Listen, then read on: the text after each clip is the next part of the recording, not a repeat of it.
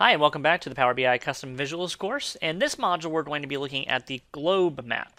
Now, the globe map is developed by Microsoft, and it is a 3D visual that allows you to place inside of your Power BI design surface a map that you can actually rotate and look at on a three-dimensional surface. It is uh, very similar to Power Map in, in Excel. If you ever played with Power Map in Excel, you'll see that the interaction with it is very similar. There's a few things missing that you could do in Excel that you can't do here, but it's a very nice visual that you can now plug into your Power BI desktop application. It also allows you to show and visualize two different types of charts on top of the map. You can view either a bar chart, which is what you're seeing on the right hand side on the screenshot, or you can also view a heat map, which also you're seeing on the right hand side. And in many cases, you might want to view both. You might want to have one metric that is being indicated by the bar chart, and then the heat map actually indicating something completely different. And you're able to do that with the globe map. All right, so our steps here that we're going to do is we're going to go show you where to go download the globe map, how to then import it, and then how to use it. All right, so the first step for us is to go to the Power BI Custom Visuals Gallery, which is where I'm at right now. You can find that by going to visuals.powerbi.com. That'll redirect you to the site that I'm at right now. And if you scroll down, you'll see that again, there's many visuals you can choose from here. The one that we're interested in this is this one here called Globe Map. And so if you select the globe map, you can then download the visual or you can download some samples that Microsoft has provided to you. We're going to go ahead and download this visual and use it in our example. Now, once you download it, you can then go over to the Power BI desktop, which I'm going to flip over to now, and then you'll start to pull in some data and actually visualize it on top of the map. Now, in our example, we're going to be pulling in some data that has a population, total wages, and also the number of tax returns that were filed in these different cities. So we're going to go pull in a bunch of city information, and then we're going to place it onto a map. So our first step here is to go get that data. So I'm going to go up to the very top here and select Get Data, and then I'll choose Excel. That's the data source type we're going to be using for this example. And then you're going to go use the file. You should be able to see this file downloadable below in a link below this uh, video. And we're going to select the one here called City Tax Returns. Okay, so I'm going to select City Tax Returns and then hit Open. Now, once this launches, this is going to take us into a navigator pane. And in the navigator pane, we'll go ahead and select the only spreadsheet we have available, which is called return returns filed, the number of tax returns filed.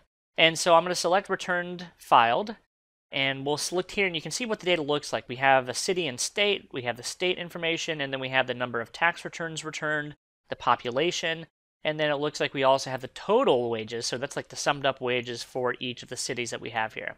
Now, I'll tell you ahead of time, I don't have every city listed here. So if the data itself looks a little off, that's okay. I'm really just trying to get you familiar with the Power BI custom visual, the globe map, not so much worried about the data. So we're going to select load here and bring this data set into the Power BI desktop. And you can see in my field list that I now have available the returned, uh, the returns filed showing up here now, and I can choose from all the fields that I have available here. Now what I'd like to do to start off with is just initially start by bringing in some of this information into a regular old table. So I might bring in something like the city-state, and you'll notice when I do this that it immediately puts it into a traditional Power BI map. Not really what we want to do, but I would point out to you here that Power BI recognized the type of data that we were bringing in and assumed that it should go into a map. Now for us, I'm actually want to visualize this to you as a table first. So I'm going to flip this over to a table, and you can see my list of all of the cities, comma, state. And then I'll go ahead and bring in a few other things. Let's say I want to bring in the total wages, and let's bring in the total population as another one here. All right, so I have estimated total population by city, and then I have the total wages for everyone in that city. And so we could be really creative and do some like a divide function here, and let's find out what the average wages are. That would be something interesting we could do. But for simplicity's sake, I'm going to leave the metrics that we have here, and we'll go ahead and bring this into a globe map. So what we'll do is we're going to go import a globe map here by going over to the ellipses underneath the visualization section here, and we'll import the visual from a file. So I'll go ahead and import a custom visual, hit import again, point it to wherever you downloaded that custom visual. So I'm going to go underneath the custom visuals folder, that's where I've downloaded mine, and there's one here called globe map, and that's the one I want to use for this example. So I'll hit open. I've now imported the globe map successfully, and I should see it appear underneath the visualization section. Now, if I want to use that globe map, say for example, I want to convert this table to a map, I could just select the table that we have here where I'm looking at the data in more of a tabular format, and then select the globe map to convert it to a globe. And you'll notice after a few seconds, you'll see it start, starts to plot out all of the data points, and you can actually zoom in and zoom out. Let me actually make this a little larger here. There we go.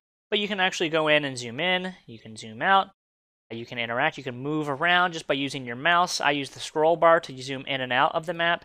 And like I said, you can also zoom in pretty deep if you wanted to. You can go as far deep in as you want. Now, one of the other ways that you can interact with this map is by focusing or selecting one certain data point that you find on the map. So right now, as I use the scroll bar on my mouse and zoom in and zoom out, it kind of interacts like this. But once I actually select a data point, let's say this one here that looks like it's probably Atlanta, Georgia, and it is, if I hold down Shift and click, so hold down the Shift button on your keyboard and then click on a data point, what happens is it then focuses in on that one particular area. And then when you start to zoom in and you move around, you'll notice this time when I move around that it now focuses in on that data point. And you can always click and shift to get off of that. But let me try that one more time here. If I zoom around, you can see what it looks like and how you can interact with this and how it really is a 3D map is, uh, is really on display here. So it's a nice way to be able to interact with this. Uh, if I had multiple segments of data that I'm looking at right now, this is showing the estimated Uh, actually, this is showing the total wages is the bar. But if I had ways that I split this up and I had categories of wages in here, I would be able to actually drop that into the legend section here, and then it would slice that bar into multiple sections. So it'd be kind of like a cluster column chart there where I'd be able to see multiple segments of that column. You could also plug in latitude and longitude data here. You'll, if you're looking over here in the field well, you can see all the different areas you can drop in more data. So you could drop in uh, latitude, longitude. We've already dropped in a bar height, but you could also have a heat intensity, which we do here as well. You can see the heat intensity is kind of hidden behind the bars. But if I remove the bars for a moment, you can see that's what the heat intensity looks like. Okay, so it's showing me right now where the most populated areas are. And then I could always bring back in the total wages again if I wanted to just by dragging and dropping it. Now again, like I said a few moments ago, you do have that legend section there as well. The legend section is going to be dependent on splitting up the bar that you have if you're using a bar chart. All right. Now there are a few things you can do to uh, customize the visual here. If you wanted to customize the visuals in some way, you can do that by going underneath the format section here. If I go underneath the format section, there's really only one property here that you can customize, and it's this one here called data colors. Underneath data colors, if you had a legend, which in my case I don't, but if I had a legend, I would then see multiple options here for the different type of colors that I could use for each of the values in my legend.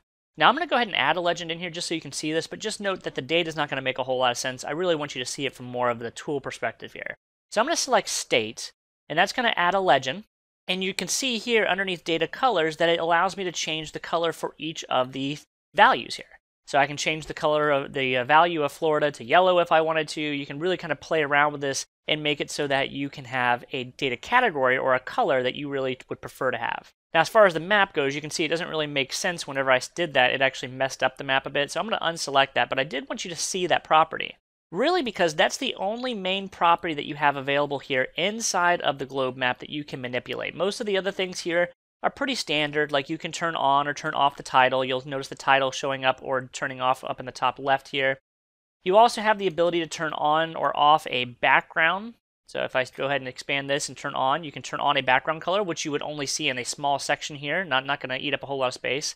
By the way, you can see the map kind of going on the fridge sets whenever I move over it on accident. I accidentally clicked over it. So you can play around with things like that. You can turn on a background. You can give it a certain color.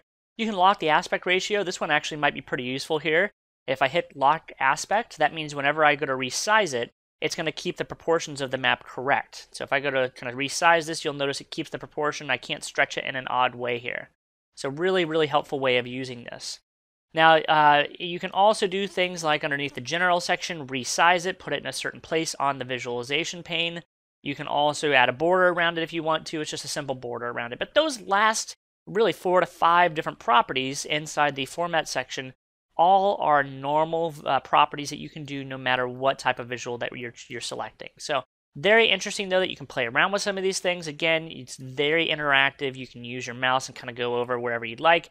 And you also have the tooltip capability. If you hover above a, a city, in this case, on in this case Atlantic Beach, which is really close to where I'm at actually, you're able to see uh, the details of what that data point makes up here. All right, so that's pretty much it for this visual. This is the globe map. Hope you guys enjoyed this module and look forward to showing you our next custom visual. Thanks a lot.